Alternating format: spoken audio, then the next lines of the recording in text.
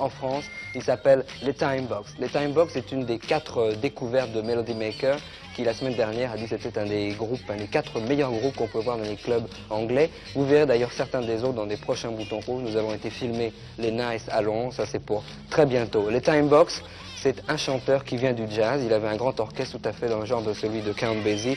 Il s'appelle Mike Pato. Il y a John, il y a Clive, il y a Peter, il y a Chris. Chris c'est l'organiste, je ne me suis pas trompé. Voici pour la première fois sur le direct, en direct, sur le plateau de Bouton Rouge, voici les Time Box Begin.